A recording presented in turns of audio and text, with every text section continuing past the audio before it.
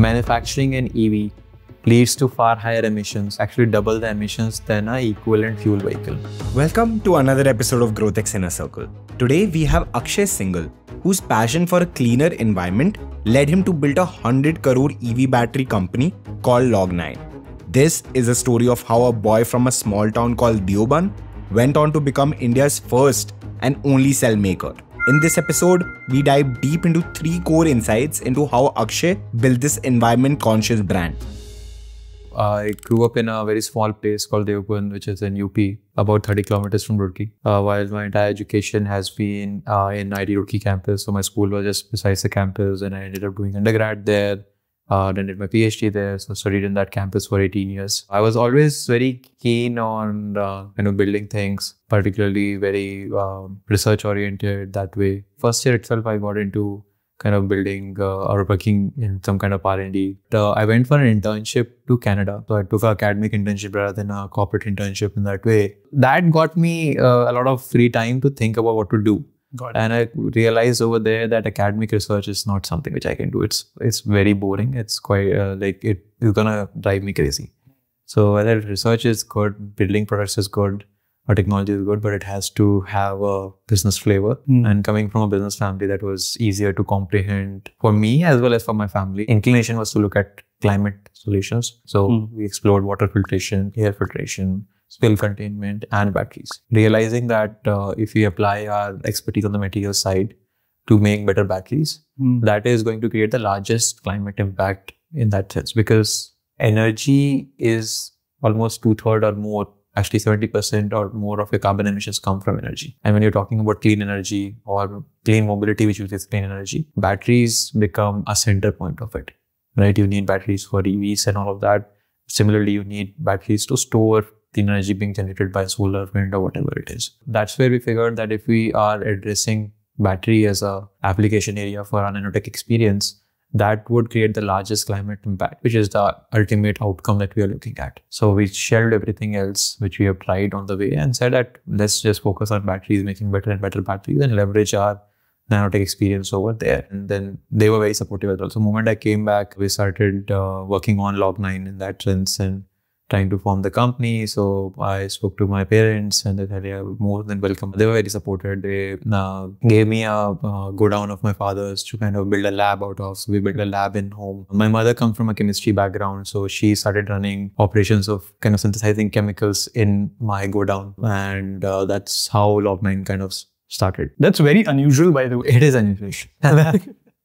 It'll be difficult for people. my parents were my first co-founders, so to speak. So when you started, right? So right now, uh, you are you just told us that you have you know surpassed hundred crores revenue mark, and so can you tell us what Log9 does, and uh, so that our audience understands it better? So what we what Log9 has evolved over the years is to become the leading battery company in the country. We are the only ones in India who have the technology and the capability to ri- start right from making the cells, then battery packs, and then working with OEMs to get the right EV solution out there. And this is a huge feat because making cells and developing the technology for making cells. So in, in a EV battery, right, or any kind of battery, there will be cells and then there will be battery pack, right? So multiple cells come together to make a battery pack. It's kind of a case of beer cans, right? So one beer can is a cell. You put together a lot of them, then that's a pack. A lot of people can do packs and are doing packs. They import cells and then put it together to make battery packs. When you go to cell level, the challenge and the intricacies of it are significantly more complicated. We are the only ones today having a large scale cell manufacturing available. So the only facility that can do it is with Log9,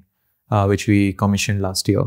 Um, and uh, then going to battery pack and then working with OEMs to come up with uh, the most, uh, so to say, reliable and efficient commercial EV solution. How does a B2B player market itself? Is it only tech supremacy? Is it only the moat that, hey, my sales are way better? And that is just a product led marketing. So, how does the channel work for you? See, in B2B, the, the, the one fundamental thing which helps you win over the competition is customer service and support. Nothing else. All your brand, all your customer love, traction will come from customer support and service. Hmm. If you're able to provide that, if you're able to solve the day-to-day challenges of the customer, they will love you. They will not go to anybody else, no matter even if they come up with a significantly better product. Why fleets and why not passenger vehicles? The fundamental reason is that for an EV to be really, really cost effective, as well as to really create a positive climate impact, it has to be run enough. And that kind of utilization is just not there in the personal use case. Are EVs really cleaner than diesel? Which they are not in many cases because the utilization is not high enough. See, what one of the biggest underappreciated fact is that manufacturing an EV leads to far higher emissions, actually double the emissions than a equivalent fuel vehicle. Wow. The manufacturing, not running it, only the manufacturing. But whenever we're talking about EVs, we are only concerned about the tailpipe emissions. We are not factoring in what has gone into what emissions have happened into mining and then manufacturing and putting everything together and making a vehicle, right? Which is where the significant amount of EV emissions sit. After that, also, we are using still coal-based power to charge the vehicles. So it's not 100% clean. Right? So it is better than directly burning petrol or diesel in the vehicle, but it's not 100% clean. So it takes a X number of kilometers before an EV becomes cleaner or it has gained parity in terms of total emissions as compared to a fuel vehicle or any petrol or diesel vehicle. Just to give you an example, so a Nexon EV to hit absolute parity, including manufacturing emissions and running emissions, would take 100,000 kilometers or 1 lakh kilometers before it becomes cleaner than a petrol variant. Now, no personal use case vehicle in the country, or hardly so, like 99% plus of personal use case vehicles in the country don't drive for 100,000 kilometers in their lifetime. So we're not hitting that number at all. And the same math actually works for the cost as well. Upfront, the EVs are expensive. Running cost is 10% as compared to a petrol vehicle.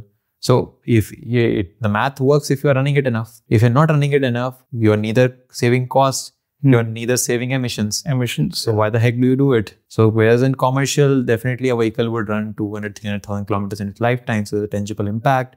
And because the utilization is high, so there is a net cost saving as well. So you are more bullish on two-wheelers or three-wheelers at the moment as a company? Commercial vehicles. Anything, it can be a two-wheeler for food delivery, it can be a three-wheeler, it can be a four-wheeler, it can even be a bus or a truck. It can be, for that matter, even a material handling like a uh, forklift or a, or a tow truck anything which is being used for commercial application is something which I'm bullish on. So when you talk about batteries, you can make batteries for EVs, but you can also make batteries for other purposes, right? Different markets on the battery side are at different mm. level of maturity in the market itself. So EVs is the most advanced in that sense, but batteries for energy storage is just picking up. It's just beginning to kind of come out there. Yeah right? Similarly, battery applications for other segments like for forklift and all of those things again are nascent. And they are older batteries, lead acid and all of that, and even diesel engines are still running on those solutions. And then because they're hidden in the back end, yeah. not many people talk about it, right? So hence penetration also takes some time.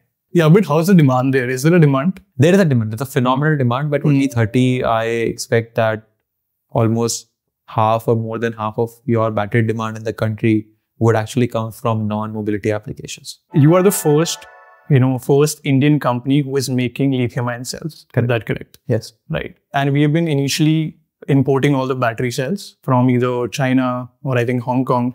So when you started this, right, what are your what do you think what do you think is still the dependency in terms of imports from these countries? So the dependency still continues. We also continue to import cells because our capacity on the cell side is still smaller than the battery pack requirement. And it will continue to be the case for next few years because if you look at it, China controls 85% of global lithium ion production. They control 90 95% of all raw materials going into battery mm. manufacturing, mm. cell manufacturing and battery manufacturing. So you can't overnight shift away from that supply chain because uh, it's not theoretically impossible, it is practically impossible because the cost structure that will be involved in shifting away from it will be super, super high. And that doesn't provide you a viable, cost viable solution for the market. So you will have to continue to build with their support. Uh, you have to slowly and steadily kind of indigenize and localize uh, parts of the supply chain, starting from low hanging fruits and kind of scaling up. Uh, so that's the way to go about it. So if we just kind of zoom out a little bit and if we look at China, you know, like companies like CATL, BYD, etc. Whoever, are, even I think LG makes it. Mm-hmm. So, what were the incentives from the government side that kind of pushed them and gave this edge of 20, 25 years? What do you think? See, it's a, a very unilateral governance in China, which has propelled as well as killed a lot of industries, right? China as a country can take a call that we are removing all support from the tech industry, so to speak. Uh, that's what happened with uh, your uh, Tencent or Alibaba and all of these companies overnight. Yeah. The entire industry was killed. And the very next day, they said that all the government support will go towards manufacturing oriented industries because that's where we want to gain a global dominance and everything and anything that is manufactured globally will find its roots back in China. Right? So they can do that. Unfortunately, or again, fortunately, we can't do that in a democracy. Right? You cannot have such unilateral way of uh, taking strategic calls for a country or for the industry, and uh, which is the case with India as well. So, for example, like they they keep on having a debate. Uh, what is the site solution? The hydrogen should come in, whether battery should come in, whether swapping should happen in this industry itself. Whether should we uh, focus on batteries? Whether we should focus on making local manufacturing of solar, whether we should focus on lo- doing local semiconductor manufacturing, what all should we do? Ideally speaking, you can't do everything. But the challenge is that if you have 1.4 billion people, everybody's aspirations and goals will be different. So some people are more keen towards solar, some people are more keen towards semiconductor, some people are more keen towards you battery. can't please everyone basically. And you have to somewhere please also everybody right at the same time then there is there will always be a spreading out of resources across all industries to grow. So there will be a limit to which Hmm. an impetus is being paid on a particular industry. And there is a diffusion for sure. And that's why it takes even longer to kind of build it out. Uh, as a cell maker right now, the you know you've crossed 100 CRs, and so who are your clients basically?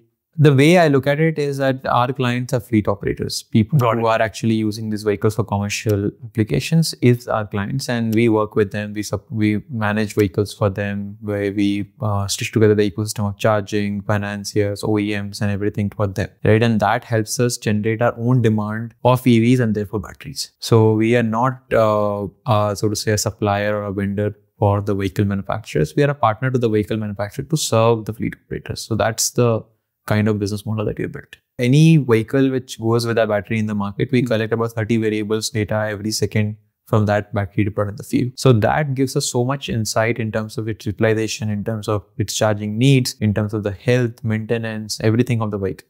Right? And those data points and, and the AI models that we have on top of it help us bridge the ecosystem, right? So, uh, for example, we know how many vehicles would need charging when, and that data becomes important to drive utilization for the charge point operators. So they come together, right? Similarly, how much the vehicle is being used, what kind of revenue it is earning. So that data becomes important for somebody who wants to finance these vehicles.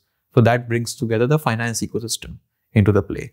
Right. Similarly, how, what vehicle is like whatever is the maintenance level, what is the health, what is the efficiency coming out of it. So that helps us build a service network out of it. So the that data becomes very very critical. There is there is a reason why it's called a Tesla is not a hardware company, a software company because the strength of an EV comes from being able to digitally monitor and manage it. And unless and until you are able to do it, you will not be able to drive the best efficiency out of the vehicle or the battery. And you will not be able to even build better batteries in the future. Any lessons that you can share for any entrepreneur, not just an EV entrepreneur, but entrepreneur in any space who is trying to figure out his execution and you know started to scale his team and is at a very early stage of his business. Execution is very very important in our ecosystem. So I think I've find labor that uh, point more. Don't be feared of going out there in the market and actually selling the solution. It can be a little less mature. I would not say mature, but less mature, but that's okay. I think uh, your initial customers will be forgiving enough to kind of uh, work with you as long as you're willing to support them. As long as as long as you're not getting irritated with the problems that arise because your solution was a bit faulty. So uh, in general, people are nice.